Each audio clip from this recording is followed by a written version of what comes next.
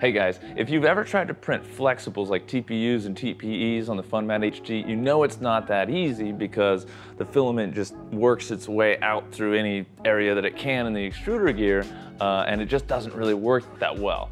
Uh, so today we're going to show you the modification that we made for printing flexibles on the FunMat HT. Now keep in mind, printing TPUs and TPEs on this machine isn't the easiest, and that's due to the gaps in the feed system.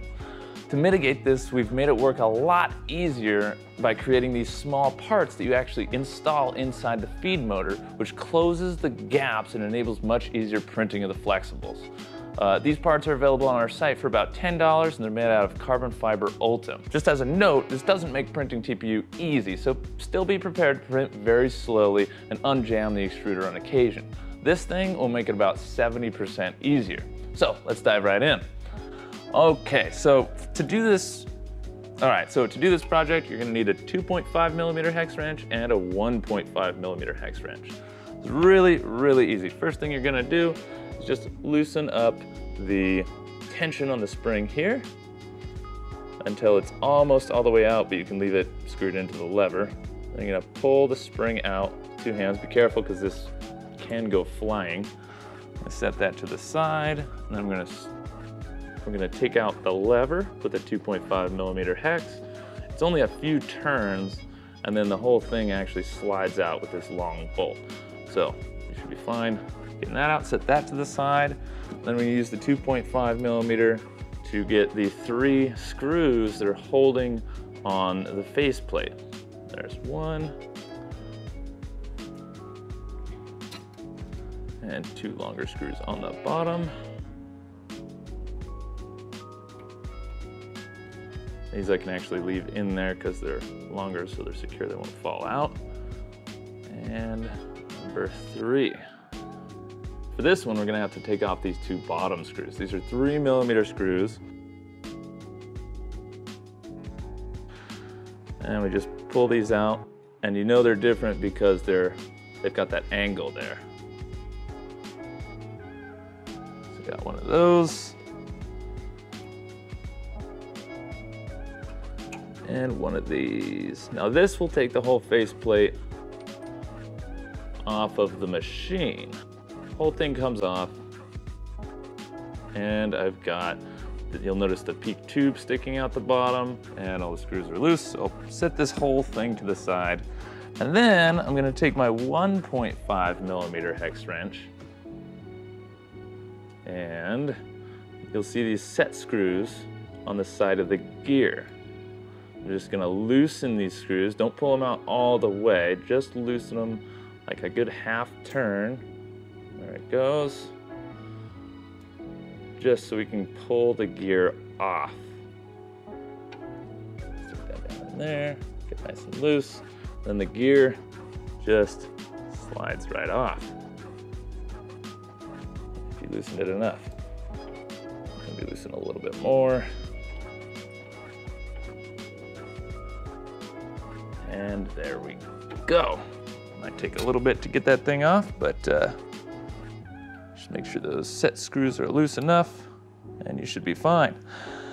So now we're gonna take, so now you're gonna take this little flex insert here and you're gonna align it on the motor like this. So the little point here is gonna be facing up and this is gonna slide right over the shaft. Now you notice there's a place for it to rest. The whole thing's not flat and it'll slide right in there. This, this side, notice how this is a full circle and then it's been sheared off on this edge. That's where the filament goes down through. So we're just gonna put that in there, get it nice and tight, get it fit in there. Then we're gonna put the extruder gear back on. Make sure that you have the flat side with one of the set screws and then push this back on.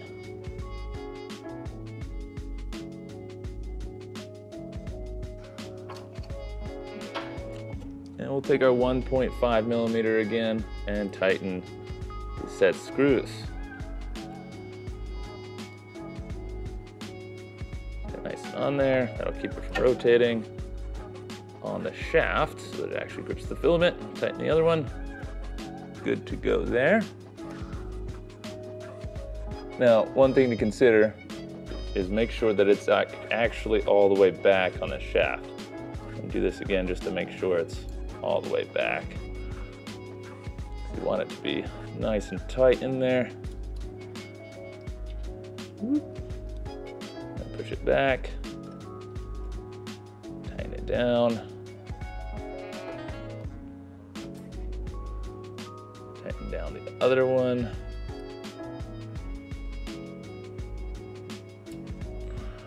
So once you've got that on there, now we're going to put the faceplate back on and make sure that the PEEK tube goes down into the hot end, at least so it can be aligned. So do that. Next, I am going to get my 2.5 millimeter and I'm gonna attach this to the motor first. So I'm gonna bring the faceplate back in just by screwing in these two at the bottom we had before. Now don't go too tight on these until you get all three in. You don't want to strip anything. This thing is made of aluminum. I'll loosen everything just a half turn. Good. I'm gonna take that third bolt from the faceplate. Line that in there. Now we're 70% of the way there. So I'm gonna tighten this down nice and good. Tighten these other two. Right. Now I can take these angled screws again with the three millimeter and screw the motor assembly back onto the top gantry. There, finger tight is good for now. You want to tighten these down after you get them both in. Bada bing, bada boom. Got that one in there, nice and finger tight.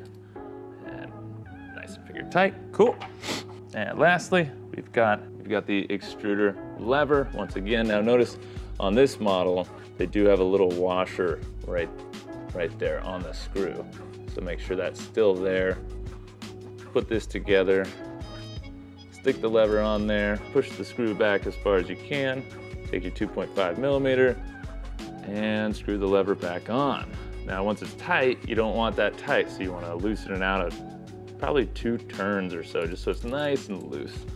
And then we get that tension back by putting the screw assembly back in. Now again, be careful, hold this with as many fingers or hands as you can, stick it down in there, and then stick it underneath.